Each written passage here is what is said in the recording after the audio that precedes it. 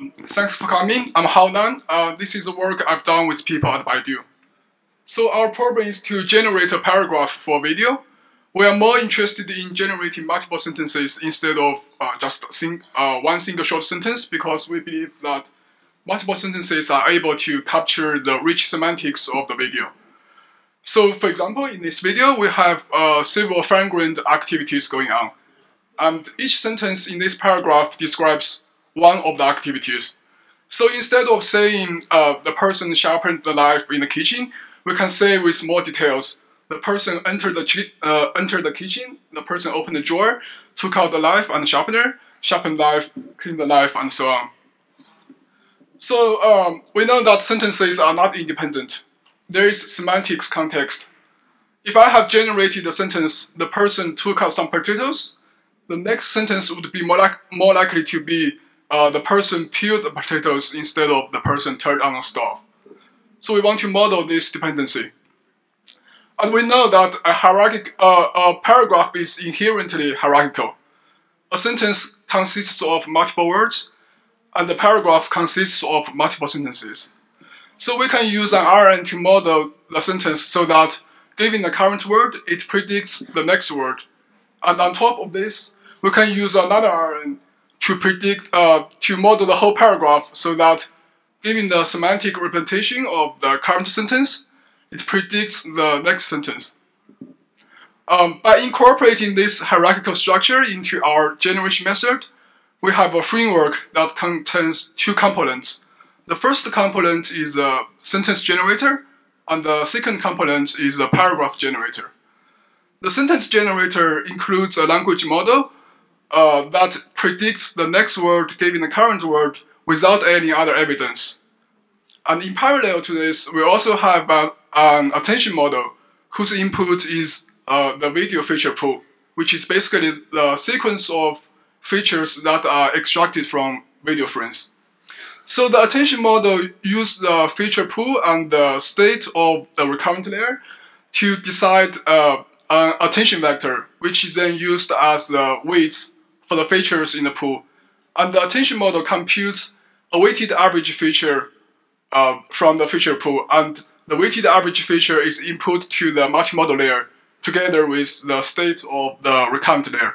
And now the, the recurrent state and the average feature decide the next predict, predicted word um, together. So after one complete sentence is generated, the paragraph generator takes the last instance of the recurrent state sequence, and also it computes an average embedding of the words in the sentence. It combines the average embedding and the last instance into the uh, sentence embedding, which is then input to the recurrent layer 2. The recurrent layer 2 basically summarizes all the sentences it has seen so far in the paragraph and outputs the paragraph state.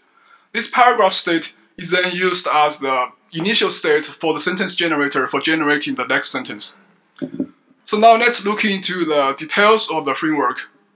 Um, although I only draw one video feature pool here, it actually consists of two features, the appearance feature and the action feature. So both of the feature pools go through the same attention process, except that they have uh, different sets of parameters. And eventually we will have two weighted average features and both of them are input to the multimodal layer. So for the object appearance, we use VGG16, and for action, we use either C3D or dense trajectories plus Fisher vector. And uh, our attention model learns spatial and temporal attention simultaneously. Suppose we have uh, several frames. We first use optical flow to roughly detect the person in the, in the video, uh, which is denoted by the blue bounding boxes here. And after that, we crop several small regions around the lower half of the uh, person box. And then we extract appearance feature for each uh, the, for each of the small region. So basically, each small region is a candidate for the interesting object we are looking for. And, and we end up with a feature pool. And also we have uh, the previous recurrent state from the recurrent layer. So now we can um, compute the, the attention weight by uh, combining the feature pool and the recurrent state. And after that, we do a dot product between the feature pool and the attention weights to get the average feature. And the average feature is then input to the multimodal layer. So this slide shows our paragraph generator array. Basically, the output of the paragraph generator is input to the sentence generator for the initial state for generating the next sentence. And here we compute the sentence embedding vectors and, and, and visualize several examples on our trained models.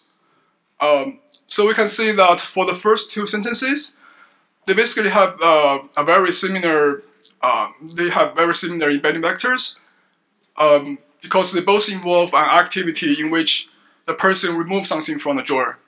And also for the, uh, for the next two sentences, their embedding vectors are also very similar.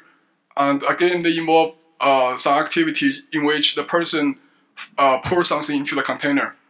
So on the right, there is a matrix um, of the Euclidean distances between every two sentences out of the four.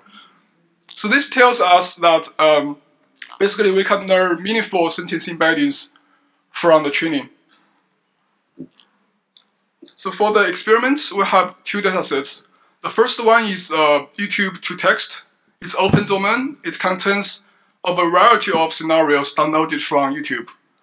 We only use this dataset as a special case for our problem because only one sentence is annotated for each video. So what we are more interested in is the second dataset, the TACoS-MultiLevel. It's closed domain and it only contains uh, cooking scenarios. And we can generate several dependent sentences uh, for video on this dataset. So for evaluation, we have uh, three metrics, the BLEU score, the METEOR score, and, and the CIDEr score. So basically, after we generate a sentence, we compare the sentence to a collection of annotated sentences. And the higher the scores are, uh, the closer that generated sentence is to the allocated ones. And here's the result on the YouTube2Text dataset. Excuse me. So um, we can see that our method outperforms all the comparison methods and the two baselines. And this is the result on the TACoS-MultiLevel dataset. Again, our method outperforms all the comparison methods and the four baselines. The, the first baseline is called HRN VGG. It means that we only use VGG feature but not the DT feature. And the second baseline is HRN DT. It means that we only use DT feature but not the VGG feature. So these two baselines tell us um, the, both of the features are crucial for our task and we can't leave out either of them for the, for the method. So we notice that uh, the last two baselines have performance that is quite close to ours. We know that uh, evaluation metric scores are not always reliable, so we need further comparison. We'll go, uh, we first uh, compare our method with RNCAT. RNCAT uh, has a flat structure. It basically concatenates all the sentences directly with one RN. So the last instance, uh, the, the last state of the previous sentence is used as the initial state for the next sentence. We conducted uh, a human judgment experiment on Amazon Mechanic Turk. We, we show a video on, on the web page and uh, by the side, we also show the two sentences generated from the two methods, either uh, from our method or RNCAT. And then we ask the Turker to answer the following question. Which of the two sentences better describe the video? The first one, the second one, or they are equally good or bad? So in the end, we have about 770 selections for our method, but only 470 selections for RNCAT. And now we compare our method with uh. RNCent means that we just remove the, uh, the paragraph generator from our framework, and also it doesn't do any concatenation either. Basically, each sentence is generated independently, and there is no semantics context. So in the second example, we can see that RNCent is unaware of the generation of the previous sentence because it generates taking out the cutting board from the drawer twice. And in contrast, our method does not generate duplicate phrases or sentences. So finally, some conclusions and discussions. we have shown that hierarchical RN improves paragraph generation, but there are still some issues. The first issue is that we notice that most errors occur when we are generating nouns. So it's still difficult for us to recognize small objects in the video, especially on the TACoS-MultiLevel dataset. And the second issue is that um, currently there is only one-way information flow in our hierarchical structure. So if the first sentence is generated incorrectly, the wrong information would be propagated to later sentences, and which is bad thing. And the last issue is that we believe that language model helps, but sometimes it overrides computer vision result in a wrong way. So um, we think solving these three problems would definitely help the paragraph generation in the future. And that's it. Thanks for listening. Please come to our poster number four.